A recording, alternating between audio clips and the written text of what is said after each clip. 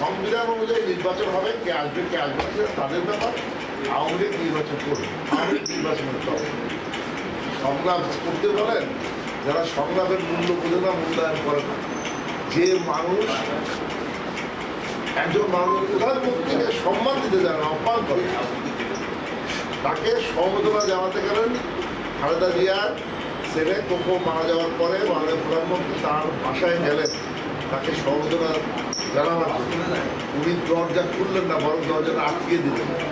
এই যে এই যে বোঝা যায় তারপর ফোনে যখন ওনাকে সংলাপের জন্য কি কথাগুলো হয়েছিল আপনারা জানেন? তাহলে এই লোকের সাথে সংলাপ হবে কি আর আরেকটা বিষয়, এটা হলো তার পার্সোনালি আমি বললাম।